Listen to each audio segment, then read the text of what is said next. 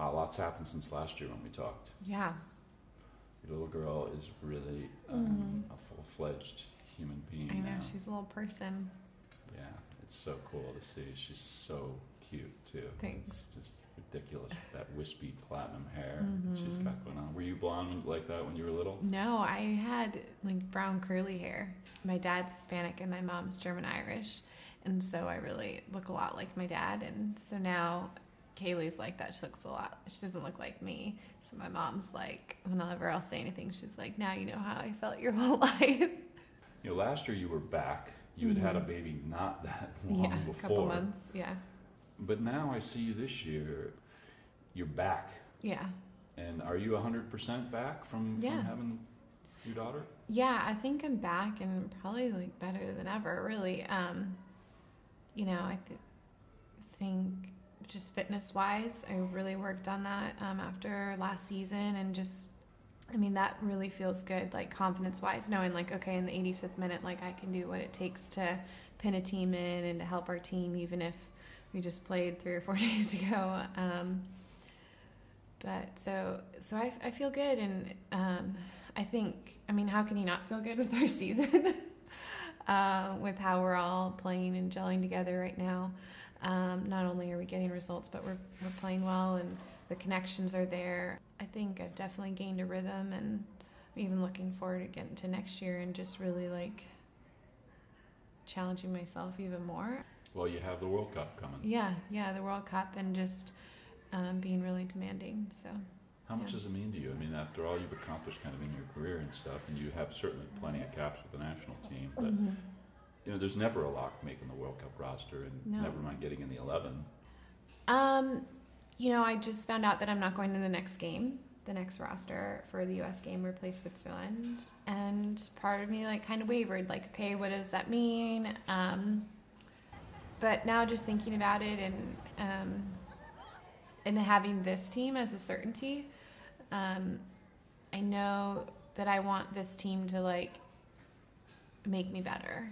That these girls can really even up my game even further. That this environment can. You know, if you were to break it down, trying to be objective about yourself and give insight into your game and what enables you to put the ball on someone's foot or on their head from 35 yards out time after Mhm. time, how do you do it?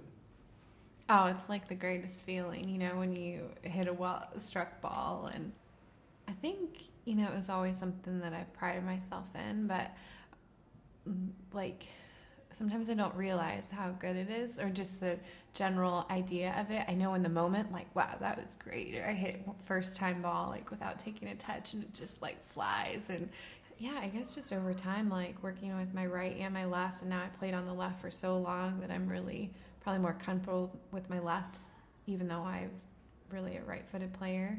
You're also known as a tactical genius on the team. this has been said by multiple players. What is it about the game, from your point of view, or even what you do on the field, that needs to happen? You know, when you break it down, what is it that really that you need to do? That's one of the keys, and how Mhm. does that work for people who might not really understand? You know, what I love about soccer is it's a team sport.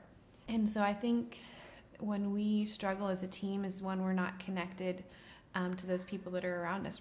So is it more mental then? Because you know what, frankly, I could see you playing out on the wing on the offense too, crossing balls in because you do that so well. Hmm. Um, but you know that might be more of kind of a physical talent that you have as opposed to the organizing. And is one more important than the other? Um, yeah, you know, I feel like as an outside back, and even just talking to the national team coach the other day about me not going into camp, you know, she was talking about, oh, in possession, I have no question about your talent, but just defensively. And so I think that because I don't have to do anything defensive, like that's almost my role. It's just the mental side to make sure that it doesn't even get to us. If we put are in right positions, that we really it it looks easy, you know. So. It's a little bit like a keeper though too, right? Yeah, yeah, definitely. I think um, yeah, a keeper's job. Sure, you know, if they the less shots that they get, you know, probably the better they've organized. Um, but I think my job's even easier since I'm right there next to him, right next to the midfield, and right next to center backs. Um, especially when we're playing in the other team's half so often. Last little thing. Where'd you get your legs?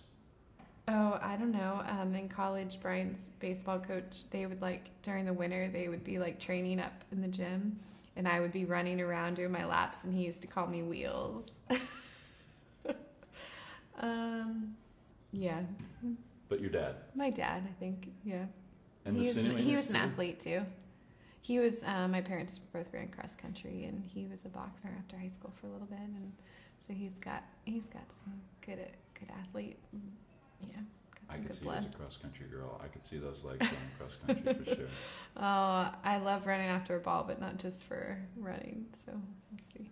Not 3.1 miles or Mm, whatever, just no. for the sake of it. yeah. Thanks. You got Thanks, practice. Scott. Okay.